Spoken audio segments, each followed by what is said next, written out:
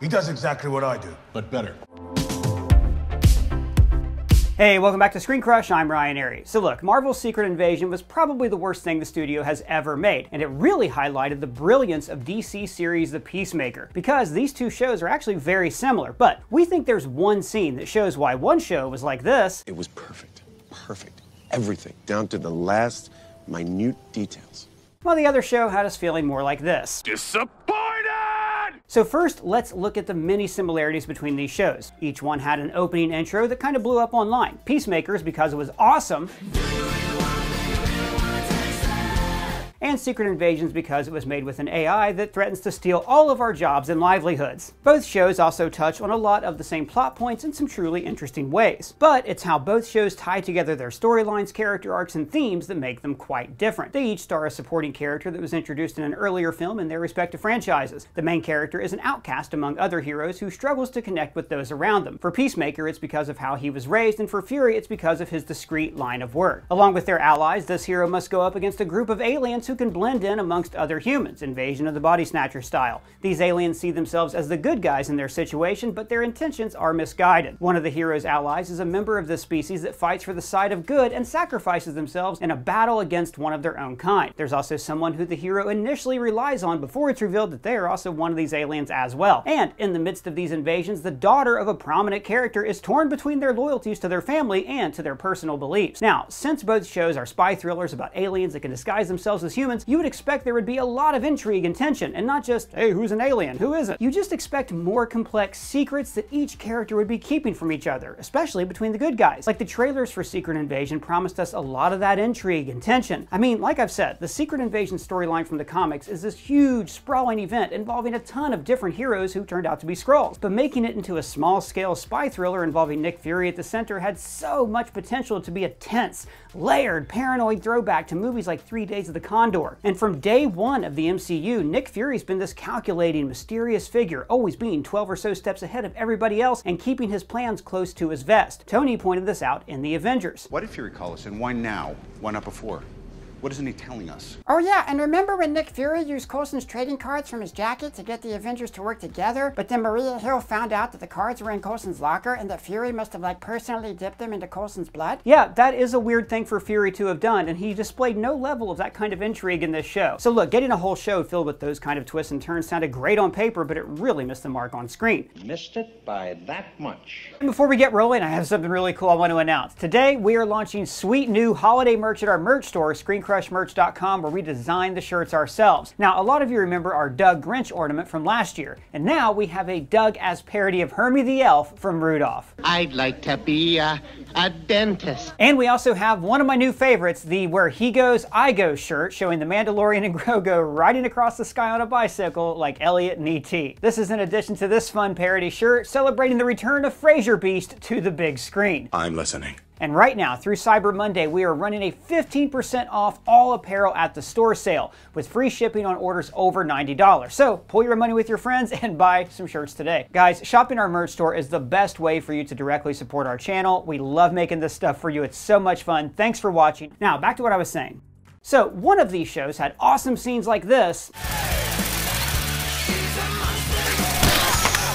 And the other one had scenes like this. Holy God, what are you showing me? His head. Come on. And there's one very similar scene in each show that proves our point. Or what scene is that? The scene where we find out that Clemson Murn is a butterfly. So, before we get to that scene, I have to talk about the build up to that moment. When we first meet Murn, he's got a pretty serious, no nonsense attitude and is dedicated to the team's mission. But the more we see of him in the first three episodes, you can tell that he's guarded, like he's got something to hide. At one point in episode three, we get this exchange between Economos and Murn. They say you've done like some real hardcore shit.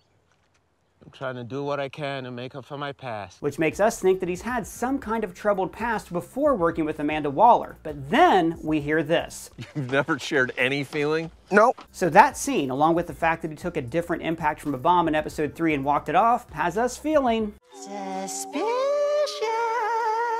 And then at the end of episode 4, we're shown that he is, in fact, a butterfly. And this raises the tension because up till now, all the butterflies we've met have been evil. So we just assumed that Murn must be doing something. He must be planning to betray Peacemaker and the others to further the butterflies' plans of world domination, right? Right. But then, James Gunn subverts our expectations by revealing that Murn is in fact one of the good butterflies who broke off from the others that were led by the Goff butterfly. So it's a twist inside another twist, like a Pepsi twist with a Band-Aid floating in it.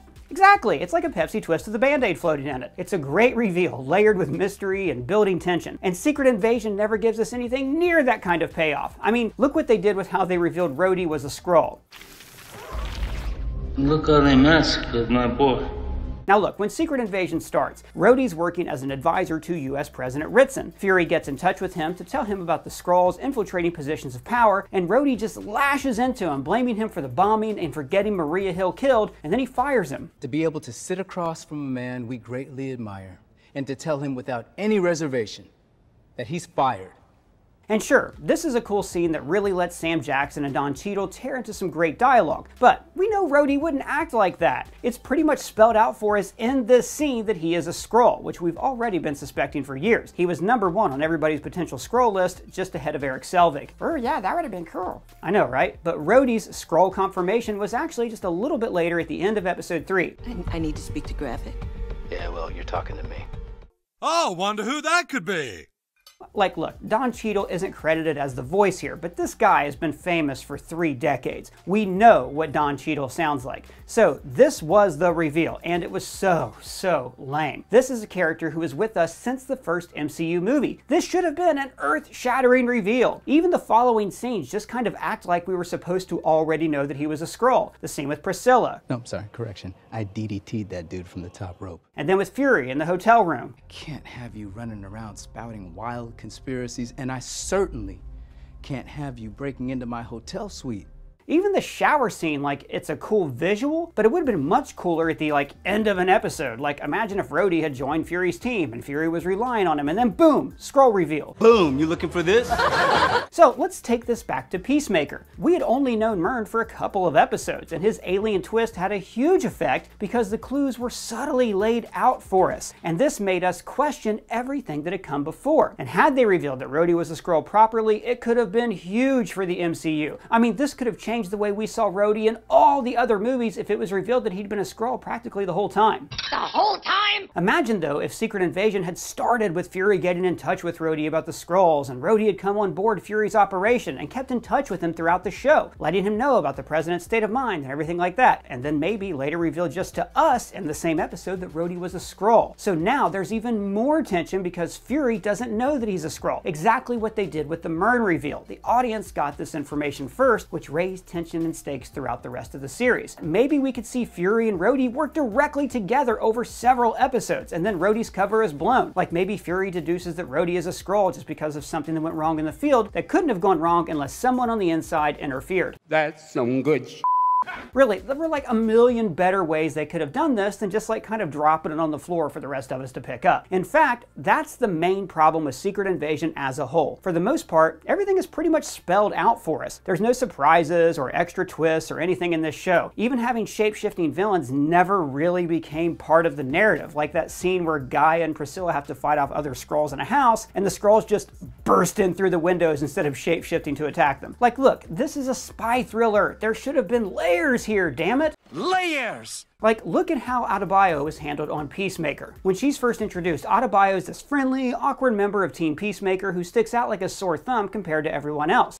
Ready to kick some ass, sir, and really looking forward to getting to know all of you. But then it's revealed that she's been secretly placed on the team by her mother, Amanda Waller. And it's not like she's playing a role when she's in public. Like Adebayo is genuinely a good person. She wants to get out from under her mom's thumb and spend more time with her wife. She forms a bond with Peacemaker and helps him become a better man. Maybe you just gave us a chance to make our own choices instead of our bug overlords but she still has to follow her mom's orders or suffer her wrath, so she plants the diary in Peacemaker's trailer to frame him. And then she feels terrible about it. It's deep and complex, like Peacemaker's relationship with his racist dad. But of course, she does redeem herself during the final battle and makes up with Peacemaker. After Eagly, you're my BFF. And this affects the show's greater story. Peacemaker starts off the show a damaged man with no one to love him. And then, after he bonds with the 11th Street kids, he suddenly finds a life worth living. And this is why he chooses to not allow the aliens to solve all the Earth's problems. Why did you choose not to help them? Because I knew they'd hurt you and the others if I did. What I'm saying is the connections that people make in Peacemaker, the show, those connections matter. In Secret Invasion, very little matters. What the f is this piece of sh? So let's compare the story of Adebayo and Waller with Gaia, Talos' daughter, in Secret Invasion. Gaia should have been front and center in this show. We should have felt her struggle to both fight for a cause that she believes in while also being faithful to the father she loves. These are like heavy questions weighing honor and duty, family versus community, and the show did nothing with any of this. Like, I feel like Gaia spent the series staring off into space, waiting to get her powers for the big CGI fight that they'd already completed and paid for, and it was too expensive to scrap. Just think of the missed opportunities with this character. We could have seen how Gravik recruited her to his cause in the first place, how he radicalized her and the other angry Skrulls. We never even saw her question her allegiance to Gravik when Talos tells her that her leader had her mom killed. She's dead. How? Why didn't you ask? The people that you work for. Instead of immediately jumping sides after hearing that, we should have seen her find proof of this somehow. You know, like, because it's a spy show. Do some spy stuff. Or maybe she's loyal to Gravik up until he kills her dad, which then makes her switch sides and work with Fury. There was just so much potential for her in these plot lines, but the show is so rushed that we barely scratch the surface of what could have happened. But person, doesn't Secret Invasion at least have some kind of theme behind everything? I mean, not really. However, do you mean? Well, in Secret Invasion's defense, the Skrulls do have a good motivation for doing what they're doing. Fury promised to find them a new home, but he never did, and now a sect of Skrulls feel betrayed and are seeking revenge. But why didn't Fury find the Skrulls a home? That's the thing, bud. We never find out why. We don't? Nope. Well, let me explain. Throughout the show, we're never given a direct reason for why Fury didn't keep his promise. In the last episode, Gravik gives this great speech to Fury about how Fury basically used him and the other Skrulls to do his bidding before he just tossed them away. You put us out to work for you, and when you were done with us, you threw us away. And at first, it seems like Fury is remorseful for not finding the Skrulls a home. You, you, are right. I, I failed you. I failed you. He offers Gravik the harvest in exchange for him and the Skrulls leaving Earth. But then the show reveals it's it's actually it's one misdirect that Gaia was actually disguised as Fury while the real Fury was saving President Ritson. So not only did Gravik not get any catharsis and he didn't get to give the real Fury a piece of his mind, but he and the audience never actually get an answer as to why Fury couldn't find them a planet. The show just ends without answering any of its main questions. Fury and his wife leave Earth a worse place than when he first came back, and it all just had us going, How? What? How? The show is essentially about nothing. Oh, like Seinfeld. Yes, but not in a good way. But Peacemaker is a show that has a clear theme and executes it perfectly. As we mentioned, Peacemaker is an outsider. He's a misanthrope who acts like a dick because of his childhood trauma. That's the stupidest idea you've ever had. And it's offensive to me. Because I have a soul but he yearns for friendship and for found family, which he finds with his teammates on the 11th Street Kids. This serves as a parallel to the show's main villains, the Butterflies. They too want to make friends with the people of Earth, but they do this by taking over their bodies and forcing humans to do things their way. They want to rob humanity of their free will, and these clashing views are explored brilliantly in the show's season finale. In the finale, Goff tells Peacemaker that they've seen how the people of Earth act, how they're on a path toward destruction, and she's empathetic here because they did these same things to their own planet. They're speaking from experience. Our kind traveled here from a planet that had become unlivable. Your planet had the habitat we needed water to drink and air to breathe. So their little bug hearts are in the right place. They want to take over people's bodies so they can make decisions for humanity. In their minds, this is for the greater good, no matter how many innocent people die. And this is what hits Peacemaker so hard because it's the exact same kind of vow that he once made. I cherish peace with all my heart. I don't care how many men, women, and children I need to kill to get it.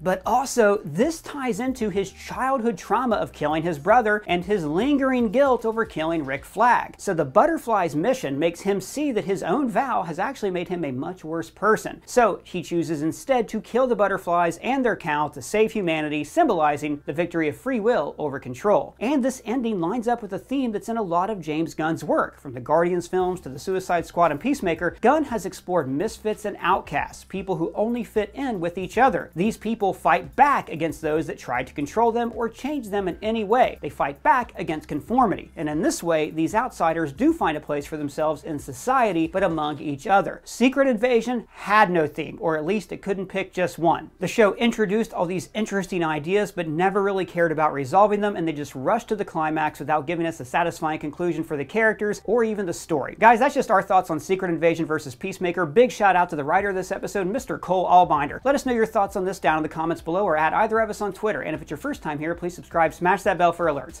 For Screen Crush, I'm Ryan Arey.